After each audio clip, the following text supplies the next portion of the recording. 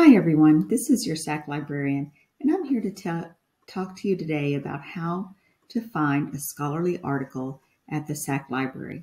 First, you're going to navigate to the library homepage, which is alamo.edu slash SAC slash library. Once you're here, you're going to scroll down on this page, and you're going to look to your right for these rectangular buttons. You're looking for the one that says Find Articles. So once you're there, click on Find Articles, and this will give you a listing of all of our databases written uh, alphabetically with their description. You could go through each of these and read the description, or you could begin with the uh, drop down menu for the all subjects. I always recommend that you start with an all topic database, but you could also go to a specific database, for example, uh, databases that only have articles specific to education or English or uh, criminal justice.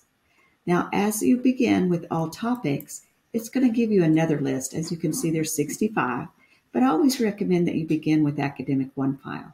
Here, you click on that title.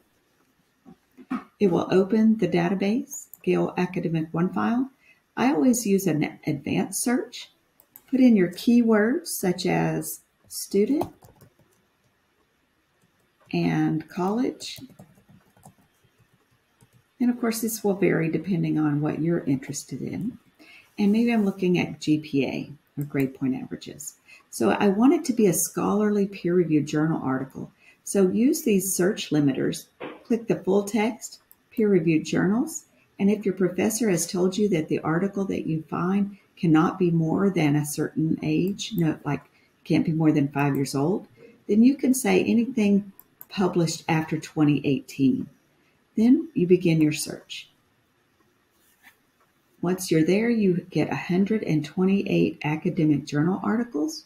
You can filter your results some more using these different boxes, or you could scroll through and find the one that is most interesting to you. So once you find that article, you can click on the title. You can read it here on the screen. You can change the font size. You can change um, the color of the background.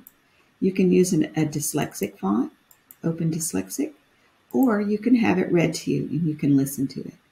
At the top, you'll see uh, more tools for citing, sending it to yourself through email, downloading, and printing. Thanks for listening.